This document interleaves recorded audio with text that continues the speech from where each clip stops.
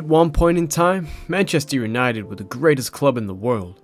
They had the greatest manager in the world, greatest trophy cabinet, greatest players, and even arguably one of the greatest fan bases in the world. But now, they're quite the opposite. They hardly win any trophies. A large number of their players are substandard compared to their rivals' best players. Many players involved in controversy and scandals, and their fan base are always in uproar towards their owners. But just what happened? It all started when Sir Alex left the club, possibly one of the greatest managers in Premier League history. He nurtured the squad and developed players and turned them into superstars. He was the consistency king, winning Premier League after Premier League, dominating English and world football. He even found some of the soon to be greatest players in the world and gave them a platform to express themselves to reach their full potential. Exhibit A. But now, we take a look at Manchester United, and they're in ruin. They've gone through eight managers since Alex Ferguson left, and they've completely lost their legacy and respect from football fans across the world. They haven't won a Premier League title in 10 years, and since he left the club, they've experienced some incredible situations that every fan never wishes upon their team. Countless thrashings, scandals from many superstar players, riots, and even breaking transfer records just for players that even the fans despise. Since he left the club, there's been a clear toxic environment. But just why? It all started when David Moyes took over. He could not keep up with the incredibly high standards of Man United, and in his first season, they finished 7th, the worst finish for Man United in many, many years. People say it's because he could not keep the team happy, and the players did not like playing his way. So after just under 12 months in charge, Moyes departed from Man United. After Ryan Giggs took over for four games, a new man was in charge, Louis van Gaal.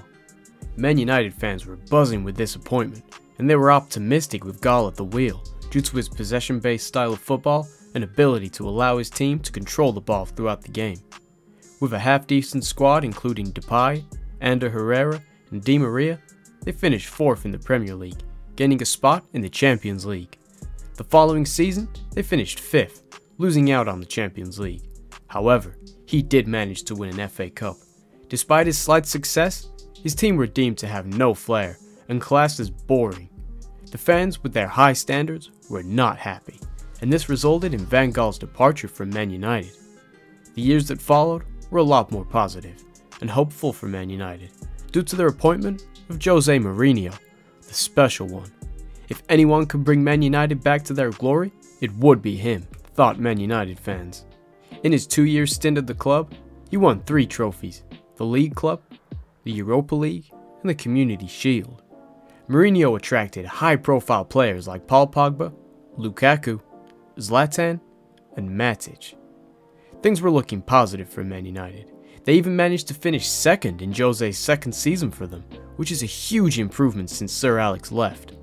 Weirdly and unexpectedly, after their decent season, he was sacked. Whether this was due to player falling outs or just general disappointment, despite winning three trophies, he had to go. I think if he would have had stayed, he could have done amazing things for Man United and took them even further. He is one of the greatest managers in the world. Next, we have probably their most notable manager since Alex left, Ole Gunnar Solskjaer. After beating PSG in a Champions League, Ole gained instant respect from Man United fans and finishing second again in the league. Things were supposed to be on the up. The Ole era brought the rise of Bruno Fernandes and Marcus Rashford. I think Ole did a decent job, but due to lack of respect by the fans and the owners, not being impressed by his lack of silverware, he was sacked. He was regarded as a PE teacher from fans. Ole was replaced by Ralf Rangnick. the United fans were excited, but due to his lack of results and many thumpings, he was quickly dismissed. He was replaced by Erik Ten Hag, the current Man United manager. He has high praise in world football, previously managing great talent at Ajax and being known for his tactical acumen.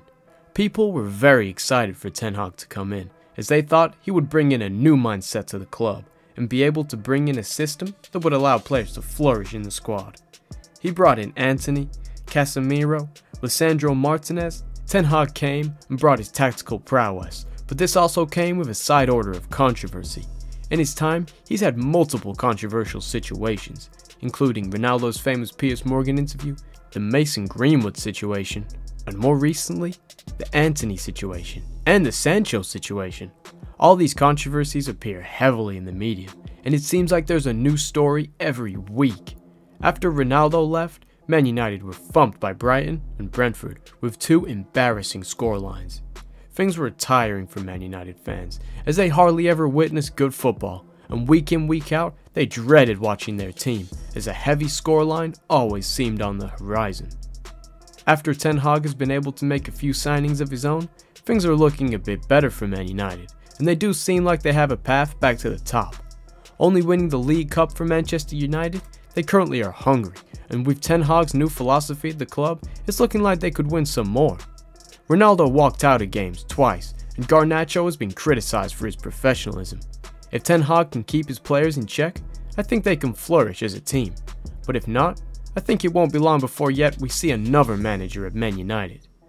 God knows what's happening at Man United. That club is run so strange by the Glazers. Will they sell the club? We know it's up for sale. You guys let me know what you think about Man United, and where do you see them in the next 5 years. But apart from that, that's all I have this week. I hope you enjoyed, but for now it's been the Football Cave, and I'll see you in the next one.